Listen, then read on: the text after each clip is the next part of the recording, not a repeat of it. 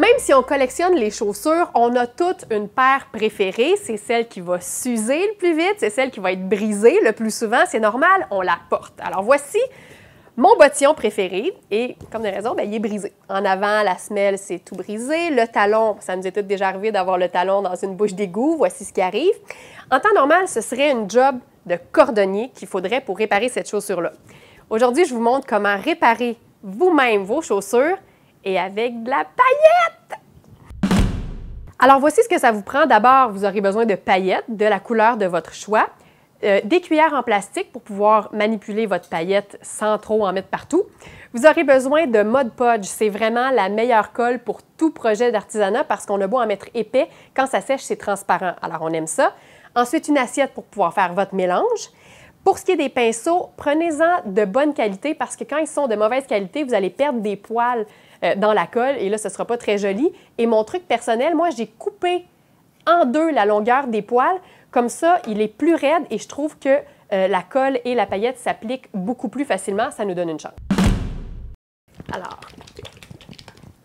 le mode podge, comme je vous le disais, la beauté du mode podge, c'est vraiment de pouvoir euh, mettre beaucoup, beaucoup de colle sans avoir à s'inquiéter de la blancheur parce que quand ça sèche, c'est complètement transparent.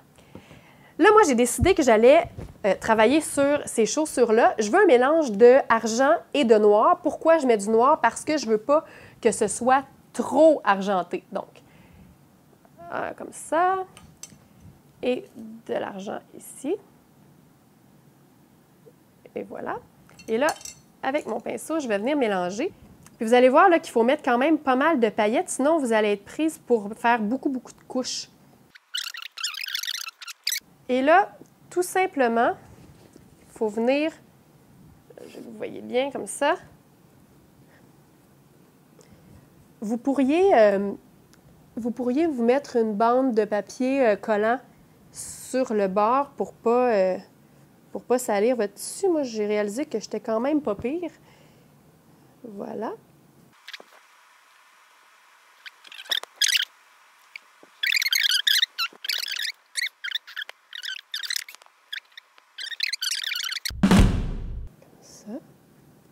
déjà, on voit que la première partie, elle est séchée.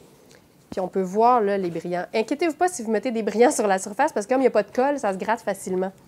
Alors une fois que votre concentration de paillettes est à votre goût, parce que vous pouvez toujours rajouter une mince couche de colle avec la paillette pour vous assurer que ce soit assez opaque à votre goût, vous allez laisser sécher. Vous ne touchez plus.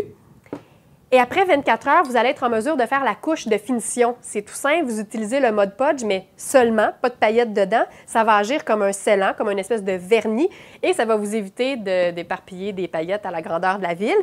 Vous allez attendre quelques heures, 24 dans le meilleur des cas, pour la dernière couche de finition.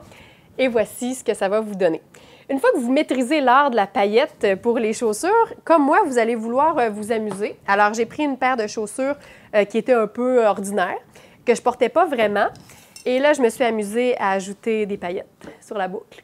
Et il y avait une paire de chaussures en tissu que je portais plus parce que vraiment le tissu était troué, c'était sale, j'ai essayé de laver, ça partait pas. Je pensais vraiment que c'était irrécupérable, mais encore une fois, avec la paillette, on se rend compte qu'il n'y a rien d'irrécupérable. J'ai pu me faire des chaussures du magicien d'Oz.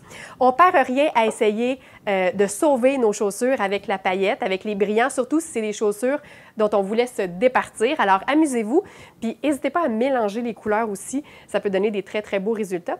Euh, la seule mise en garde, ça se peut que vous finissiez avec des paillettes d'en face.